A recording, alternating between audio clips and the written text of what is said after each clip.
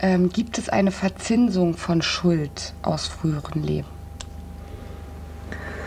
Unter Verzinsung kann man sich das so vorstellen, dass die Schuld größer wird, beziehungsweise dass Angespartes später intensiver wirkt oder stärker oder immer wieder wirkt. Da wir schon eine große Anzahl an früheren Leben haben, kann man das beobachten, wie sich eine Tat über Leben hinweg auswirkt. Ähm, Verzinsung könnte man so erklären, dass man in verschiedenen Situationen immer wieder mit dieser Tat konfrontiert wird. Immer mal ein ganz konkretes Beispiel.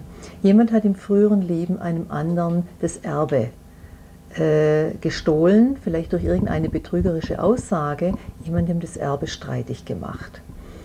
In späteren Leben kommt diese Tat auf vielen Ebenen auf ihn zurück. Zum Beispiel kann es sein, wenn er selber erben soll in einem späteren Leben, wird ihm das Erbe streitig gemacht. Er kommt nicht in den Genuss dessen, was ihm rechtmäßig zusteht. Das könnte man zum Beispiel sagen, das ist eine Rückwirkung. Ähm, da es sich aber wiederholt, ist das Wort Verzinsung sogar ganz gut gewählt, weil es geht nicht eins zu eins. Wir müssen viele Male wieder in eine ähnliche Situation kommen oder Rückkoppelungen unserer früheren Taten erleben. Es ist zum Beispiel nicht aufgelöst, wenn ein Mensch, der im früheren Leben einem anderen das Erbe streitig gemacht hat, selber einmal auf sein Erbe verzichten musste. Damit ist das Karma noch nicht ausgeglichen, sondern der Mensch muss jetzt auch lernen, ehrlich zu werden oder das, was er über das Erbe erworben hat, das, was ihm so wichtig daran war, dass er sogar einen Betrug in Kauf genommen hat oder einen Betrug angesetzt hat, dass er das auf natürliche Weise, auf ethische Weise, auf richtige Weise lernt.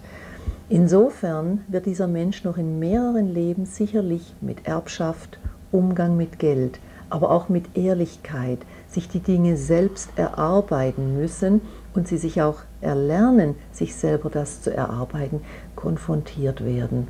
Insofern könnte man sagen, das Schicksal potenziert diese Tat, indem sie sie auf vielfache Weise wiederholt.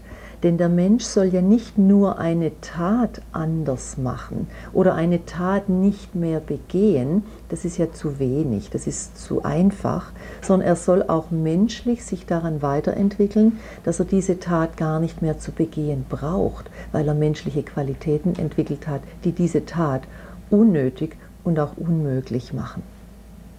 Ist es möglich, dass zwei Situationen ohne Rollentausch in zwei verschiedenen Leben vorkommen.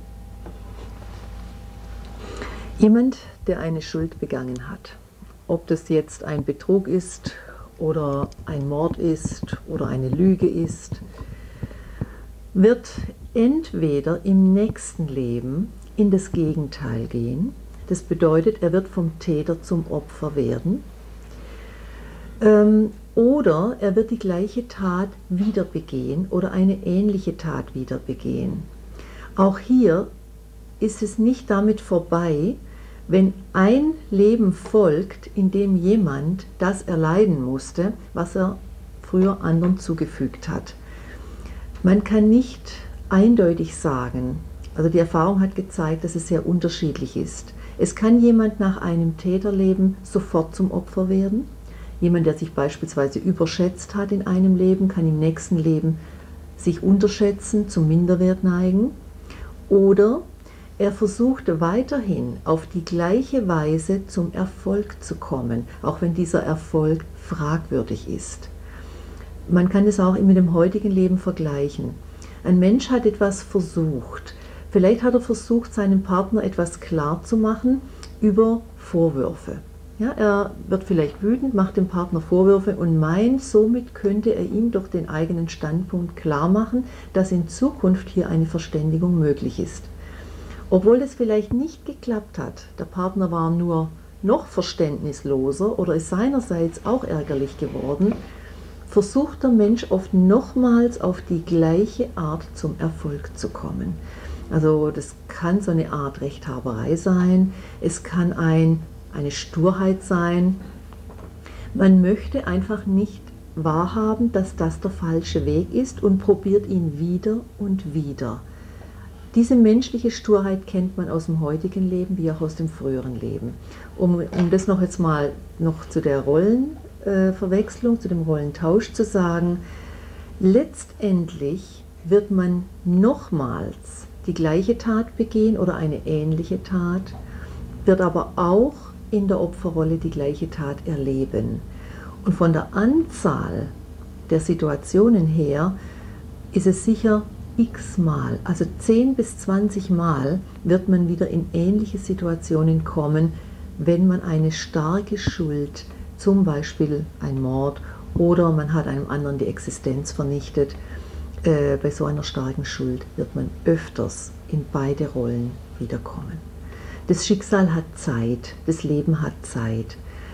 Und wie gesagt, ich möchte es nochmal betonen, es ist keine Entwicklung, nur eine Tat nicht mehr zu begehen, sondern an dessen Stelle ein brauchbares, sinnvolles Verhalten zu setzen. Die Tat ist ja auch nur das Symptom dafür, dass der Mensch noch nicht so reif ist oder noch nicht so überlegen ist, noch nicht überlegt sein Leben angeht. Deshalb lässt er sich ja verleiten, Taten zu begehen, die unter anderem aber auch Schaden anrichten. Die Reinkarnationstherapie hat ja bestimmte Problemkreise, die sie sehr erfolgreich behandeln kann.